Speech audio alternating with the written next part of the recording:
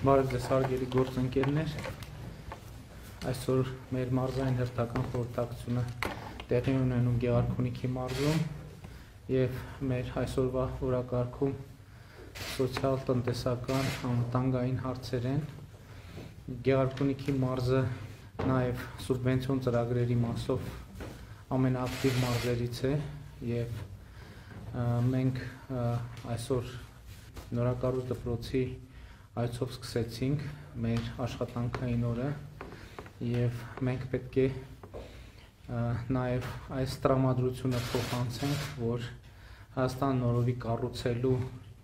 մեր տեսլականը պետք է շատ ակտիվ իրագործվի, ընդ որում իրագործվի ոչ միայն պետության, ոչ միայն կառավարության, ոչ միայն համայնքների, այլև մենք պետք է քաջալերենք նաեւ մասնավորին այդ կառուցման գործընթացին, ներդրման գործընթացին մասնակցելու։ Իհարկե սրա համար շատ կարևոր է մեր երկրի սոցիալ-հոգեբանական վիճակը, անվտանգային միջավայրը։ Իհարկե Գեղարքունիքի մարզի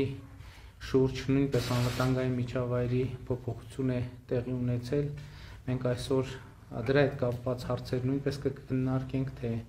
ինչպես է մենք այս նոր իրավիճակում ապահովելու մեր անվտանգությունը եւ ինչպես ենք այս նոր միջավայրում մարդկանց ունեցած մտավախությունները փարատելու մարդկանց մեր քաղաքացիների բարձրացած հարցերին պատասխանելու